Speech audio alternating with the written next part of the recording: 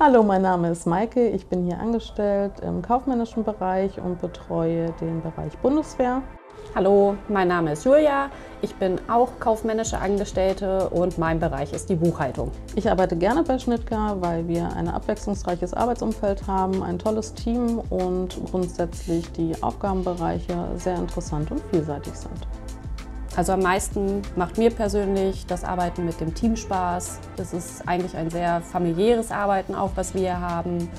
Ähm, Work-Life-Balance ist ein großes Thema ja momentan. Das passt hier in der Firma auch sehr gut. Ja, wir haben im Unternehmen auch einige Benefits, die sehr ansprechend sind. Das wäre dann einmal die betriebliche Krankenzusatzversicherung, die auch vom Arbeitgeber bezahlt wird.